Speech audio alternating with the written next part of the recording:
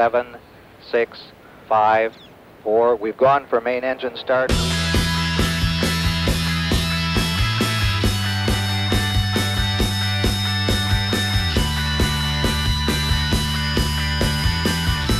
I'm the planetary protection lead for the Mars 2020 mission, and that means that I make sure that the spacecraft doesn't contaminate Mars as we explore it.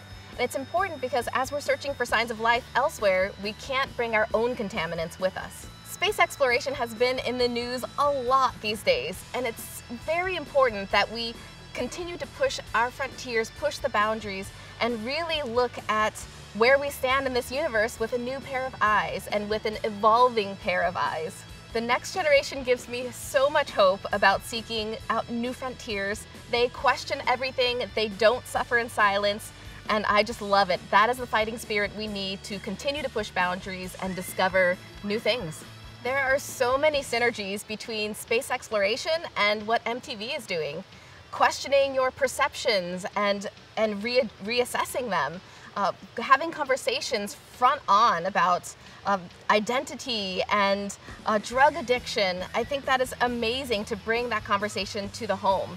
And we want to do the same thing in space exploration, that there are always things to be questioned and we should bring that to a household conversation too. I see a huge connection between what MTV has done in, in storytelling and breaking those boundaries and what is done in space exploration. Because you have to translate those important messages to the world. And to be able to do that, you have to put together a good story, a compelling story, so that everybody understands why it's relevant to them.